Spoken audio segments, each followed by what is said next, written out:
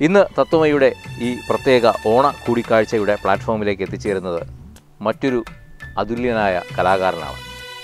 കാവാലം നാരായണ പണിക്കർ എന്ന മലയാളത്തിന്റെ നാടകാചാര്യൻ മലയാള സിനിമയ്ക്ക് സമ്മാനിച്ച അല്ലെങ്കിൽ മലയാള കലാലോകത്തിന് സമ്മാനിച്ച കൃഷ്ണൻ ബാലകൃഷ്ണൻ എന്ന കാവാലം കൃഷ്ണൻ.